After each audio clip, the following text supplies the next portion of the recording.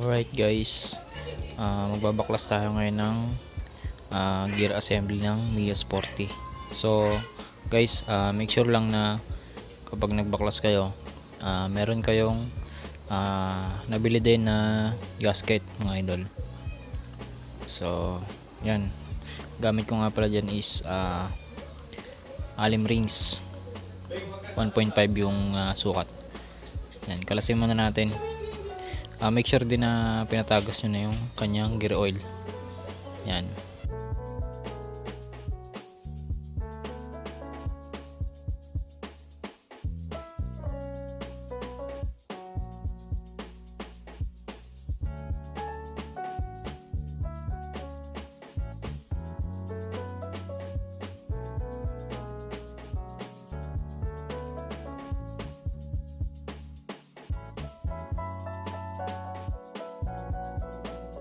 So ayan mga idol sa pagkakalas ng uh, gearings cover uh, dahan-dahan lang sa pag-alis. Wag nyong uh, wag nyong pipilitin kasi baka ma-deform yung mga gearing sa loob.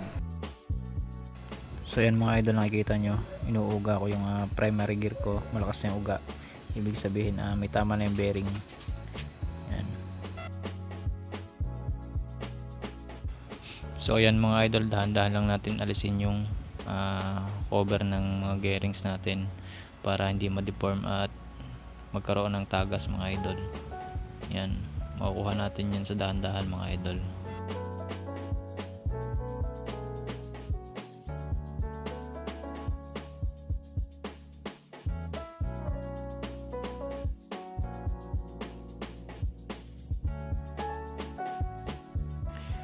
So ayan guys, makikita nyo ganyan yung itsura ng uh, gearings natin.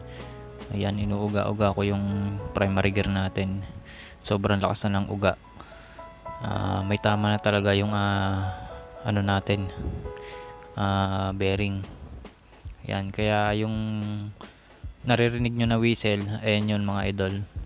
Yung whistle na nakakainis kapag uh, tumatakbo kayo. Yan yung ating primary gear.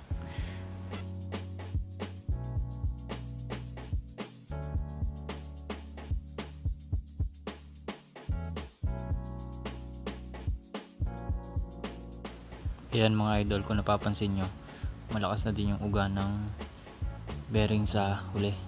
Yung sa may pinaglalagyan ng ehe, ng gulong. Ayan, malakas na din. So, kailangan na din natin palitan niya pagka ganyan nakalakas. At baka lumala. Ayan. Pero maganda pa naman yung ano niya, wala pang uh, wala pang maririnig na ano, ingay. So, ayan yung ating primary gear. Kabit na natin mga idol uh, sa pagkakabit ng uh, uh, secondary gear natin mga idol. Yan. Kailangan lang natin pagsunod-sunodin kung paano natin binaklas. Tsaka yung mga washer na inalis natin dapat ganun din yung angulo ng pagkakalagay. Kasi may tamang paglalagay yan mga idol. Hindi basta lang ibabalik kasi may manipis na washer at may makapal. Yan. Panoorin nyo ng mabuti para ano masundan nyo sana tama lang natin yung uh, pagkabit.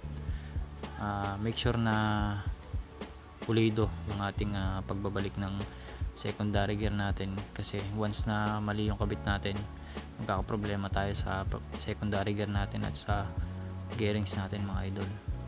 Yan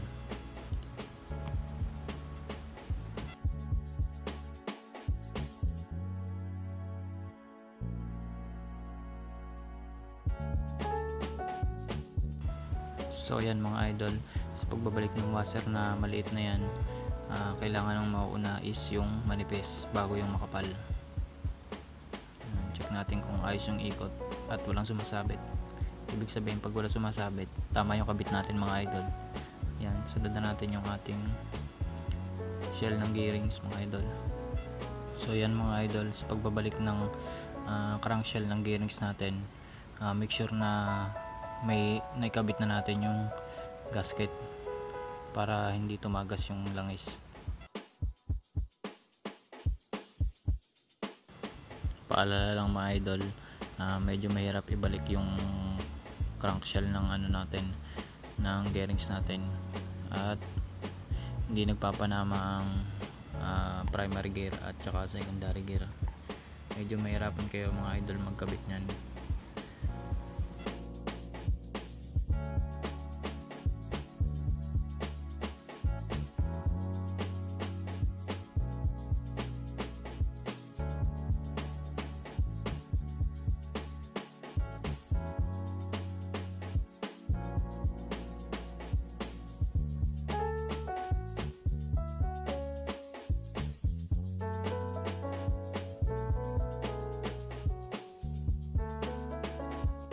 ayan mga idol, tapos na nating ibalik yung crankshell ng bearings.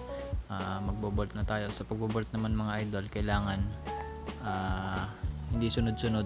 Kailangan magka eh, parang X mga idol. Pa X para hindi ma-deform yung ating crankshell ng bearings mga idol. Yan.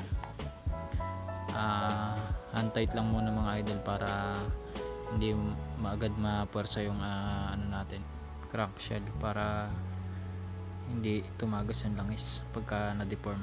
Yan.